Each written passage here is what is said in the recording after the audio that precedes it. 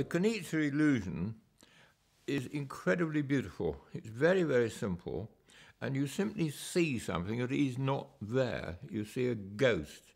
And every time you look at this figure, you see a ghost which isn't there. It's completely repeatable. That's what's so lovely about it. And it's simply the drawing of three cakes, if you like, with slices cut out of them, and the slices aimed at each other.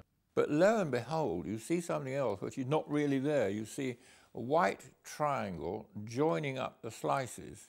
That is a ghost. It's purely illusory.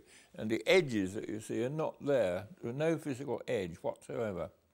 What I think is happening is that the brain is creating a white triangle to explain, if you like, the missing bits of cake, the slices, because they're exactly lined up. It's very unlikely that you've got three cakes with all the slices exactly lining up. Much more likely that there's something in front hiding the cakes so that the slices are not really slices, they're hidden by the nearer object, and that's what you see. So you produce a ghost. If you put the illusory edge off the receptive field of V1 uh, with a cat, let's say, it does not activate V1. The illusory contour doesn't stimulate V1. It's only further up. It's a postulate beyond V1, higher up than V1. But you've also got to be careful about this because you get fibres in the brain going down back into V1.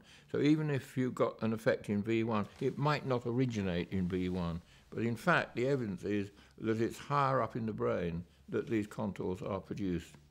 This is um, a lovely example of probabilities driving, creating perceptions. And we now think of this in terms of what we call Bayesian theory from an 18th century cleric called Thomas Bayes, uh, and there's a whole mathematics of this. And the overriding probability here is of a nearer surface or object hiding parts of the cakes.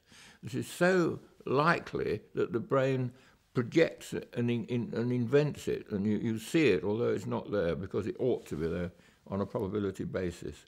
It's a wonderful illusion.